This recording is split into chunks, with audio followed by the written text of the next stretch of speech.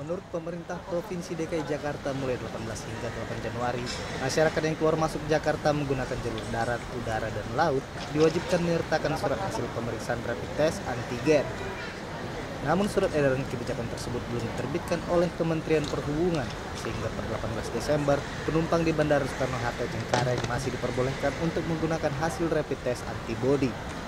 Kepala Kantor Kesehatan Pelabuhan Bandara Suta memprediksi surat edaran kebijakan wajib rapid antigen akan keluar dalam waktu dekat.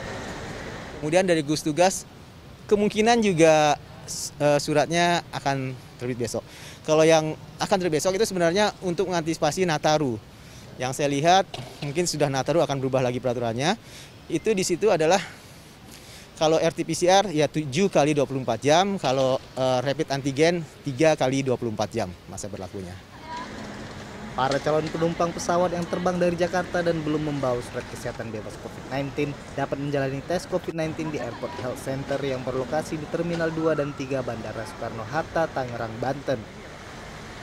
Sejak Jumat pagi, antrian panjang terlihat di Airport Health Center, Suta udah ngantri 15 menitan mungkin. Kita tadi nyari di dekat rumah cuman penuh kuotanya.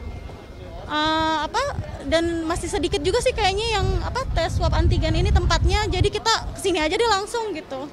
Uh, saya sih hari Minggu mau ke Pontianak. Jadi sekarang kita rapid antigen. Katanya sih uh, takutnya mena ya gini ngantri. Saya nggak sudah antisipasi dulu takut ngantri nanti panjang Eh, teman-teman sih sudah ada satu jam antri. Jadi kalau berangkatnya uh, mendadak sih takutnya nggak dapat gitu aja sih. Hmm. Di, kalau bilang keberatan oh, tentunya keberatan gitu kan. Kalau bisa kan ya nggak ada tes kan karena kan berhubungan kita harus keluar lagi biaya gitu kan. Gitu. Jadi ya masalah di biaya sama lumayan juga kan ini nyita waktu kan.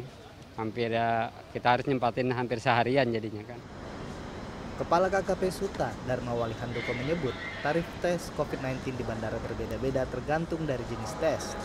Untuk swab PCR tes di Airport Health Center Suta sebesar Rp800.000 untuk hasil 24 jam, sedangkan rapid test antigen Rp200.000 untuk hasil 15 menit. Dan rapid test antibody dikenakan biaya Rp85.000. Tim Liputan CNN Indonesia.